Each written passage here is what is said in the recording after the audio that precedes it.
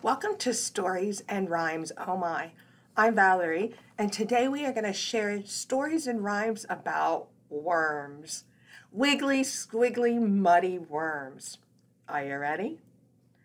We're going to start with a fun little flannel board story called Four Wiggly Worms.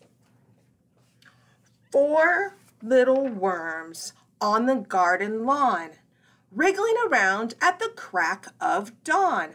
Along comes a magpie, just like that. Yum, yum, yum. Now that little worm is in her tum. How many worms do we have left? One, two, three. Three little worms on the garden lawn, wriggling around at the crack of dawn. Along comes the magpie. Yum, yum, yum. Another worm is in her tum. How many we have left? One, two. Two wiggly worms on the garden lawn. Along comes a, a magpie. Yum, yum, yum. And now he's in her tum.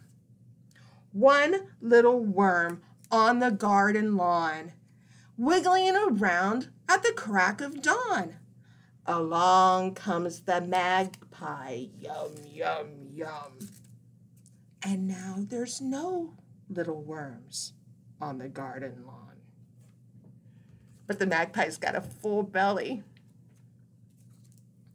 All right, now we're going to tell a fable. I love fables. This one, of course, is going to be about worms.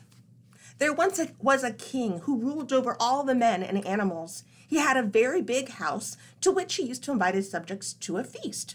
After the feast had been held, it was custom of the people to make speeches. One day after the feast, the head driver ant got up and said he and his people were stronger than any one, and that no one, not even the elephant, could stand before him. Which was quite true. He was particularly offensive with his allusions to the worms, whom he disliked very much, and said that they were poor, wriggly, smelly things. The worms were very angry and complained. So the king said that the best way to decide the question who was the stronger was for both sides to meet on the road and fight the matter out between themselves to a finish. He appointed the third day from the feast for the contest, and all the people turned out to witness the battle.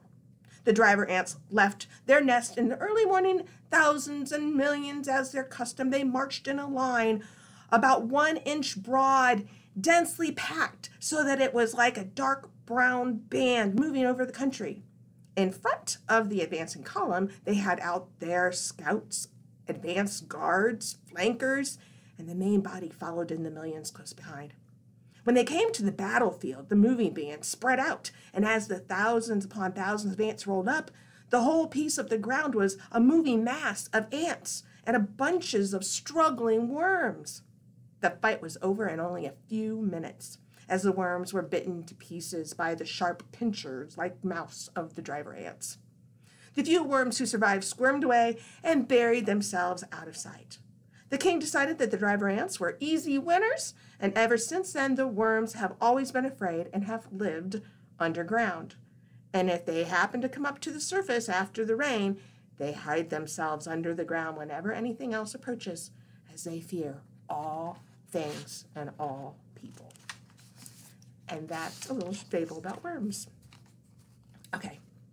Did you ever see a wiggly worm, a wiggly worm, a wiggly worm? Did you ever see a wiggly worm go this way and that, move this way and that way and this way and that way? Did you ever see a wiggly worm move this way and that?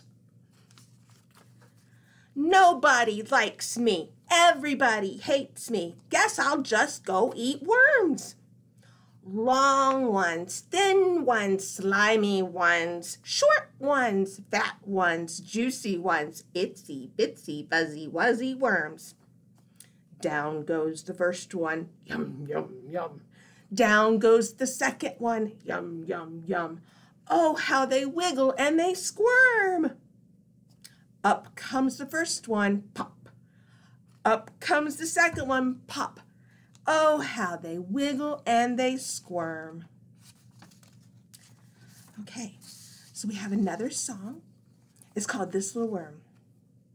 This little worm, wiggly worm, he goes creeping through the dirt with a squirm and a squiggle and a dig, dig, dig. Hide from the robin, oh so big. Short and sweet, right? All right, our next story has another worm in it, and his name is Herman. This is Herman the worm. Herman the worm, me sitting on a fence post, chewing my bubble gum, playing with my yo-yo, along comes Herman the worm.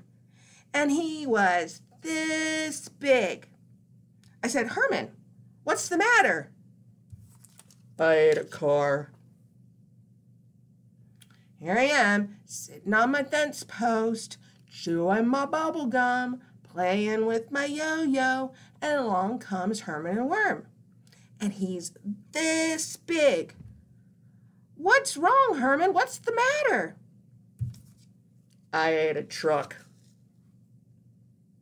There I am, sitting on my fence post, chewing my bubble gum, playing with my yo-yo, and along comes Herman the worm. I said, Herman, what's the matter? And he's this big. I ate a bus. There I am, sitting on my fence post, chewing my bubble gum, playing with my yo-yo, and along comes Herman the worm. And he's this big. Herman, what's the matter? I ate a train. Here I am, sitting on my fence post, chewing my bubble gum, playing with my yo-yo, and along comes Herman the worm, and he's this big. Herman, what happened? I burped. Burp. And that's Herman the worm. I hope you enjoyed our worm stories today. See you next time.